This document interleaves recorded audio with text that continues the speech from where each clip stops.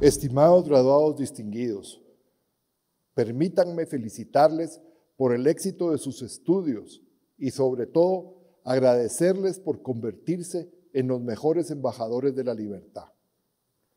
Saben que parten de la Universidad Francisco Marroquín como adalides de una sociedad de personas libres y responsables, pero se llevan algo más del amarro.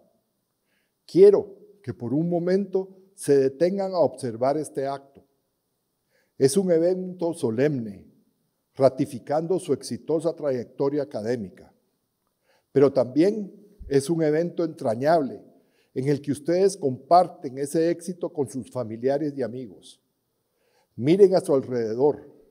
Aquí estamos, los estudiantes, el claustro y los parientes. Van a ir pasando ustedes uno a uno y van a disfrutar del reconocimiento de los presentes y del cariño de la persona que les entregará la distinción.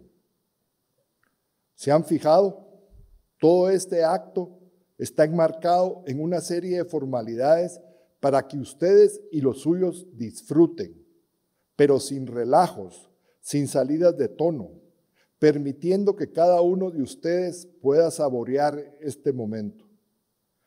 Porque la clave es que todos los que estamos aquí conocemos la importancia de respetar, de saber dar a cada cual su turno, de permitirle expresar sus sentimientos y emociones, y tras ser protagonista, ceder ese puesto de privilegio a nuestro siguiente compañero. Porque actuamos desde el respeto que forma parte de la identidad del amarro.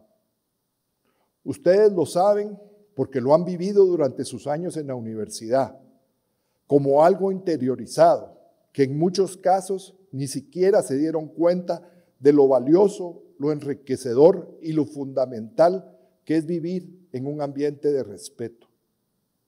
De nuevo, miren a su alrededor y verán a un grupo de personas respetuosas, por tanto, capaces de dialogar, de escuchar al otro, de tratar de entender sus argumentos, de saber defender los argumentos propios, de asumir la responsabilidad de esa defensa sin menoscabar la libertad de los demás, de saber ser libre sin oprimir la libertad ajena.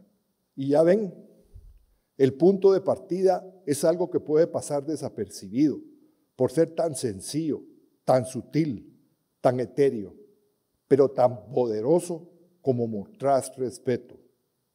No lo olviden. Si quieren ser respetados, respeten primero. Muchas gracias y enhorabuena.